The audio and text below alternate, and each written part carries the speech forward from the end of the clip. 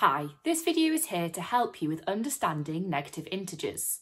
Remember, an integer is a whole number, and a negative number is a number that is less than zero.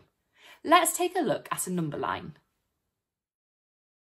We know that this is 4, but how can we work out what the missing number is?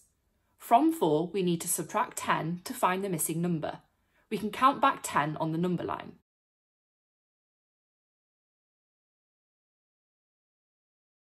Now we can work out what each number would be on the number line.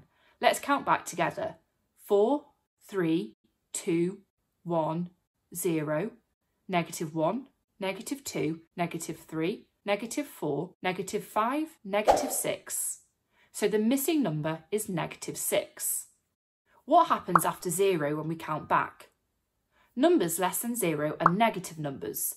So on our number line, negative 1, negative 2, negative 3, negative 4, negative 5, negative 6 are all negative numbers. 1, 2, 3 and 4 are all positive numbers. 0 is not a positive number or a negative number. Have a look at this number line. We know that this number is negative 2, but we need to work out what the two missing numbers are. Pause the video here to work out your answer you could draw the number line to help you find the answer.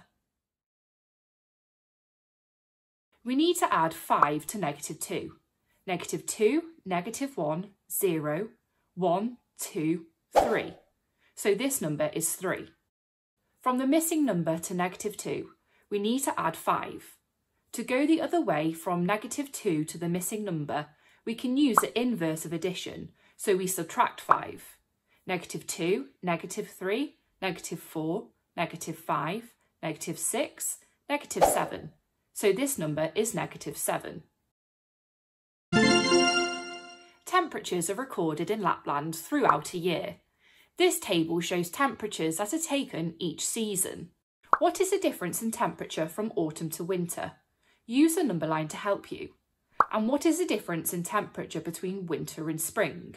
Pause here to answer the questions. How did you get on? Great, let's check the answers. Negative 8 is 11 less than 3, so the difference in temperature is 11 degrees.